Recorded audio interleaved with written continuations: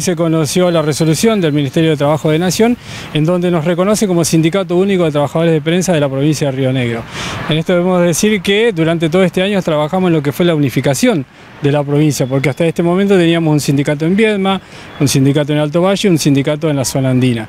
Bueno, se unificó bajo este sindicato único y a partir de ahora, bueno, tenemos una, comisión que va a funcionar con todos los papeles como marca este, la cuestión de trabajo. Vamos a comenzar con la reafiliación de los trabajadores de prensa en este caso ya de toda la provincia de Río Negro. Más allá de que cada cual tiene su padrón, porque la idea es que eh, tanto Viedma como Alto Valle y Zona Andina mantengan la autonomía, bueno, vamos a unificar todo en un solo sindicato. Ahora estamos trabajando justamente también, que esto lo inició el sindicato de prensa de Viedma, un trabajo que venimos haciendo con el gobierno provincial, la legislatura, para también incorporar a los trabajadores de prensa del Estado.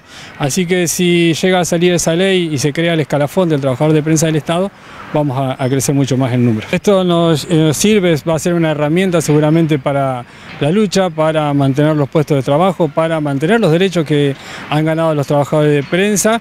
Y bueno, este, ya te digo, vamos a trabajar seguramente de manera conjunta con toda la provincia, eh, sobre todo en, primer, en este primer momento con los medios públicos, ¿no? que son los que estarían más afectados a partir del anuncio del nuevo presidente. La verdad que un paso importante que hemos dado, primero que nada regularizar la situación eh, de los trabajadores de prensa que están bajo convenio, estos son en los medios escritos, en las radios, bueno, después se van a venir los trabajadores autogestivos también, porque la idea también es incorporar a los autogestivos, y bueno, y después el próximo paso eh, va a ser también empezar a ir a las radios y a buscar la regularización ¿no? de muchos trabajadores que están en calidad de, monotributista actualmente y bueno, buscarle este, una solución también a ese inconveniente, más allá de la situación que bueno, se avisora en particular para los medios públicos muchísimas gracias. Gracias a vos.